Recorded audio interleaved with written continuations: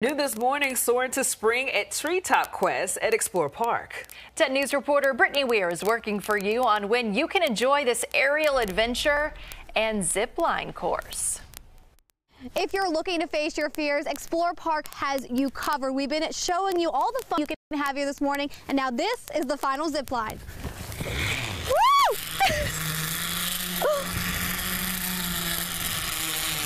Alrighty. And I'm joined here with Alex to tell us all about it. So, Alex, I just finished this off. Uh, yep. Can you kind of walk our viewers through a little bit of what they can experience here? Yeah, so we have five different courses for ages seven and up and one course for ages four to six. So you just finished the last zip line on course three, which is all zip lines. Mm -hmm. It's, mm-hmm. it's my favorite course. A lot of people love it. Or we can do what you did earlier, and that was 2A, 2B, and 1. So those feature aerial, adventure, and obstacle elements and zip lines. So a little bit of everything for everyone. It's a great time out here at Treetop Quest. Yeah, it's a lot of fun. I'll be honest with you guys, I am scared of heights if you couldn't tell, uh, but I was able to do it. So if I can do it, you can do it. And now uh, Jenna's to show you how she does it.